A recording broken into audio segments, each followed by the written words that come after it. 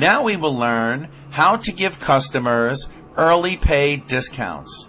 An early pay discount is a discount that we give to customers specifically to push the customer to pay faster.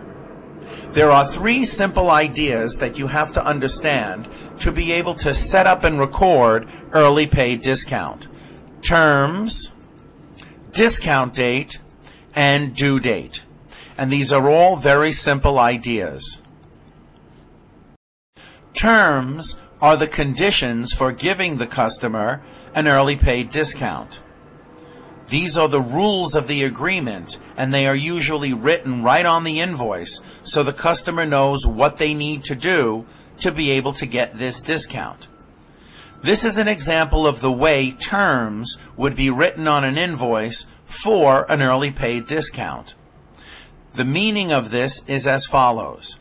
If this is what's written on an invoice, it means we will give the customer a 2% discount if they pay within 10 days of the date of the sale. If they don't, then the net amount is due in 30 days from the date of the sale, regardless. If these are the terms that are written on an invoice, it means that the customer has to pay within 15 days of the date of the sale. So this would read 3% discount if they pay within 15 days of the date of the sale. If not, then the net amount is due within 45 days. The discount date is the last day they can pay and still be able to receive the discount. For example, if the, if the sale date was February 14th and the terms on the invoice were written this way, 410 net 30. That means they would get a 4% discount if they pay within 10 days, and the net amount would be due in 30 days. In this case, the discount date would be February 24. That's because that would be February 14th plus 10 days written in the terms to determine the discount date. The due date would be March 12th because that would be February 14th plus 30 days as stated in the terms written on the invoice. There are three parts to setting up an early pay discount. First, you have to put a discount account in the chart of accounts. Second, you have to put the terms you want on the terms list. These are the terms that you will offer to your customers. Three, put each terms in the customer center. That will be the default terms for each customer so that when you choose a particular customer on an invoice, their terms come up automatically. Let us now put a discount account in the chart of accounts. The name we will give it will be called Early Pay Discount, and we will understand that this is offered to customers. This account will represent the total money that customers saved by paying early. The type we will put is expense. And of course, in accounting theory, a discount to a customer is not always an expense but we will put it this way for now for practical purposes. From the main menu, click List Chart of Accounts. In the bottom left, click Account New. The type is expense. We click Continue.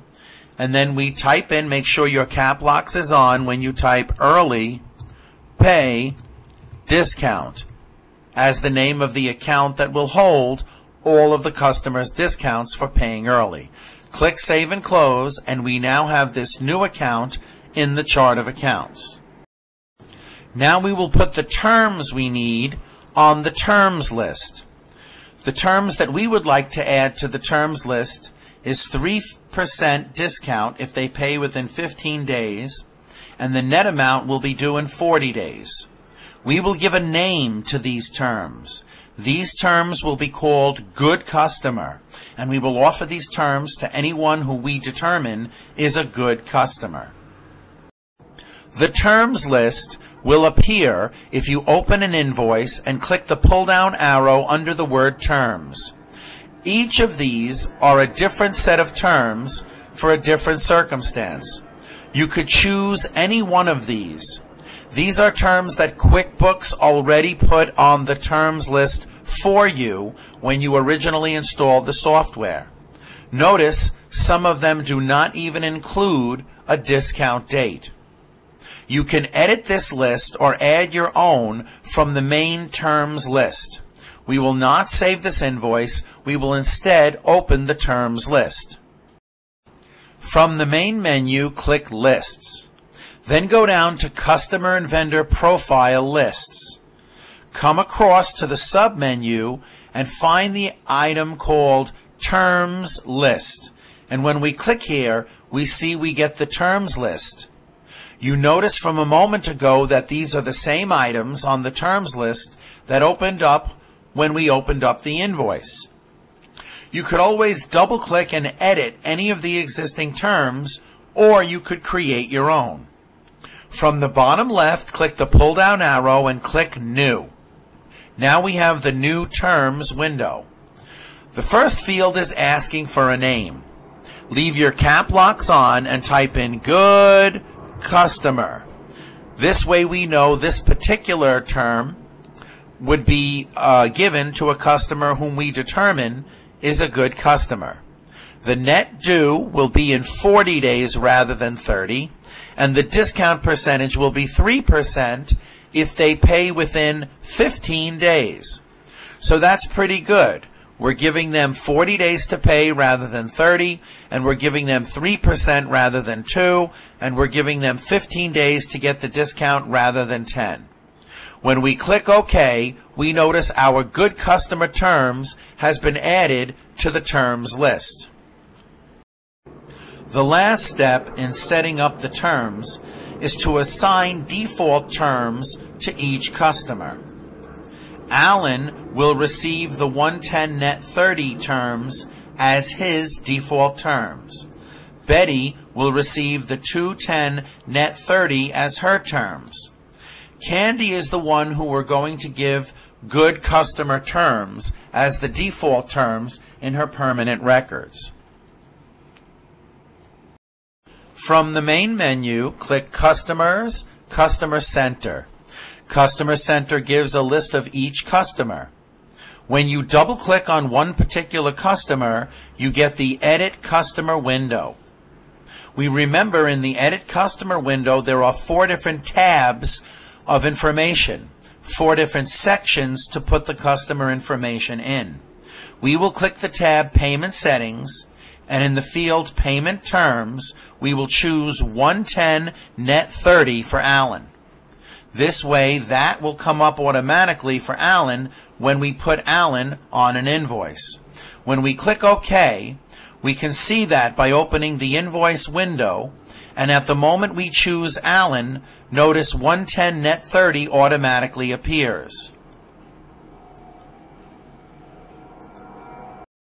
When we double click Betty, we get the Edit Customer window for Betty. We choose Payment Terms, and from the list choose 210 net 30. When we click OK, those terms are permanently associated with Betty. That means when we open the invoice window and we choose Betty, 210 net 30 automatically comes up as the terms. And of course the last one is Candy. Double click Candy, click Payment Settings, now, Candy's payment terms we agreed were the good customer terms and we click OK. When we open the invoice window and we choose Candy, we see Good Customer comes up. We do not see what the conditions are of Good Customer. In order to see what the conditions are for the Good Customer terms, we would have to go back to the list of terms under Customer and Vendor Profile, Terms List, and we would have to double click on the good customer terms to see what the conditions are.